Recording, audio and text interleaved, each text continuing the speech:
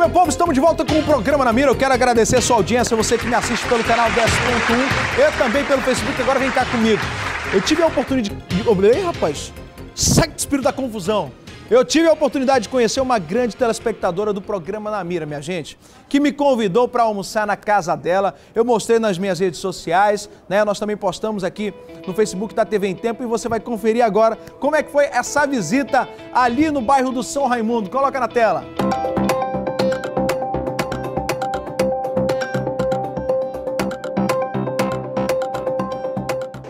povo, a gente está aqui na casa da dona Joana, que me convidou faz quanto tempo que a senhora me convida para vir aqui? Uma semana. Uma semana? Uma semana que eu te chamo pra almoçar aqui. E aí? Tu nem lê minhas mensagens. Como que eu não leio que eu tô aqui? Mas é porque o Renan fez um convite e aí dessa vez tu aceitou. Renan, Renan, como é que eu vim parar aqui? Conta aí pra, mim, pra, pra galera que tá em casa. Através do Facebook, o Luiz leu nossa mensagem, chamei pra almoçar aqui, ó. O Luiz tá aqui hoje, aqui, ó. Rapaz, comer uma, pra comer uma feijoada, né? Uma feijoada, né? Mas o rapaz faz uma semana não veio, hoje ele apareceu. Eu fiquei arrasada quando eu fiz a feijoada e tu não veio, Luiz. Eu fiz com. Não foi, Renan? Com toda a honra, toda, botei a mesa tudo bonitinho. E tu não leu. Aí pronto, eu fiquei arrasada. A senhora vai me mal acostumar agora. Não, não, não. Eu adoro você. Você é um anjo pra mim. Diga aí como é que a senhora me conheceu. Vem cá, deixa eu passar aqui, a senhora. Liguei a televisão para ver um programa, eu estava deitada por um acaso, eu liguei e te vi, vendo aquele caso, aí eu... Renan, esse menino é um anjo, aí tu falou que é de ter fé, Por que, né? que a senhora disse que eu sou um anjo? Porque pra mim, tu é. É. Porque A senhora, a somos... senhora que é uma anja. Não, nós somos evangélicos e a gente vê as pessoas assim. É. Quando Deus fala com a gente. Amém, glória a Deus. Eu, sou... Eu te vi. A senhora sabia que eu sou cristão? Não. Sabia não? Sou cristão. Agora fala pra gente o que, que a senhora preparou aqui, o que, que a senhora preparou. Primeiro diz aí, como é que a senhora falou pro meu produtor? A senhora falou o seguinte pra ele, o que, que eu vou fazer? Que a senhora disse que eu era o quê? Que a senhora pensava que eu era... Ai, ele é muito chique, ele falou, não, é só super humilde, tudo que colocar pra ele, ele come. Aí aliviou meu coração, porque eu fiquei arrasada, né, Renato? Porque a gente é uma pessoa tão simples, tão humilde. A gente recebeu uma pessoa porque nunca veio uma pessoa dessa no apartamento onde a gente mora. Nunca veio, nunca. Eu tô aqui. Pois é, eu tenho a honra de chamar. Tô Agora, a vendo. senhora- agora a senhora ia arrumar um problema se eu trouxesse toda a equipe na mira. Não, aí tu me avisava porque ele falou que vinha só tu e o produtor, por isso que eu fiz pouca comida. Se não tinha problema se viesse. É o tamanho do Renan. Quantos filhos a senhora tem? Três. Três filhos? A senhora cria sozinha teus, seus filhos? Só. É? Abandonei tudo. É o Renan e quem mais? O Renan, o Rodrigo e o Ramon. O Ramon tá hoje estagiando na Braga. Tem quantos anos, Ramon? 20, Aí o Renan tem quanto? 30. E o outro? O outro tem 35, mas já é casado, mora na compensa. A senhora começou a vender comida para entrega? Depois que eu saí da empresa, ele, eu estava desesperado porque eu não gostava, o gerente não gostava de mim porque eu sou negra. E eu, Ainda passou preconceito. sim, ele não gostava de mim que eu era negra e muita gente, aí eu resolvi sair. Quer dizer que foi tu o cara que. Não, meu amigo, fica aqui. Quer dizer que foi tu o cara que fez a tua mãe meter a mão na massa. Foi, a mãe meteu a mão na massa. Mas porque ela cozinha bem, né? E a gente tinha essa ideia de fazer essa comida já, né? Foi tu que provou as comidas da tua mãe. Não, mãe, esse daqui tá aprovado. Isso não é nem, isso é nem a metade que ela sabe fazer, né? Sabe fazer um monte de... É. Mamãe aí, ela faz milagre na cozinha. Dá pra fazer comida pra uma festa inteira. Uma festa inteira. É mesmo? É.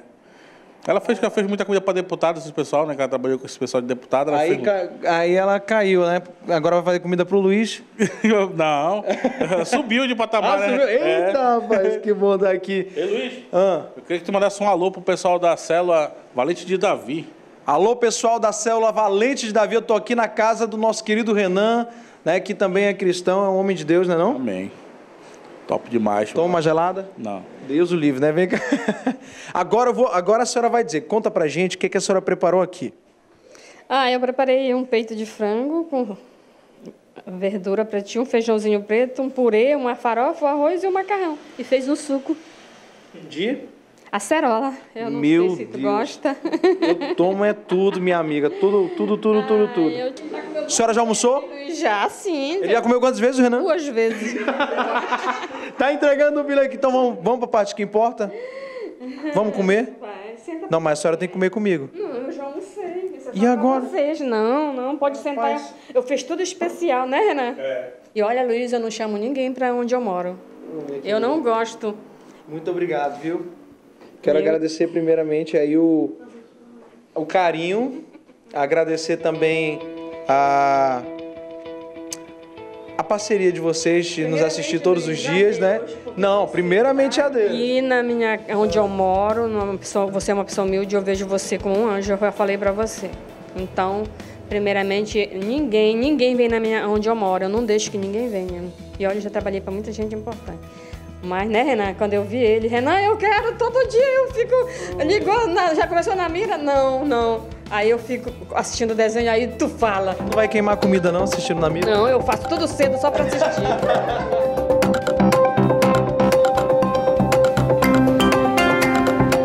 obrigado, tá muito gostosa a comida.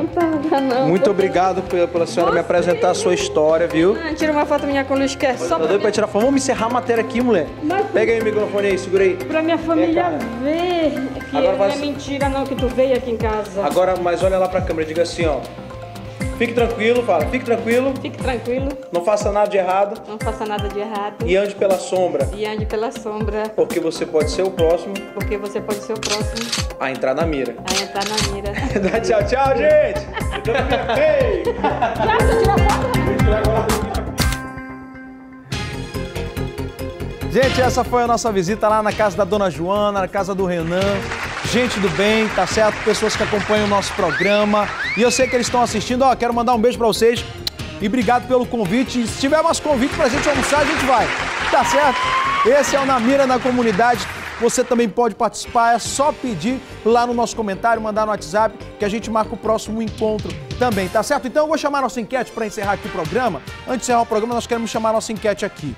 A pergunta é a seguinte: você concorda com a saída temporária de presos para o Natal e Ano Novo? Minha gente, 96% das pessoas disseram que não e 4% disseram que sim. Eu vou deixar minha opinião aqui pela seguinte situação. Para mim, o camarada está sendo preso, ele está sendo punido.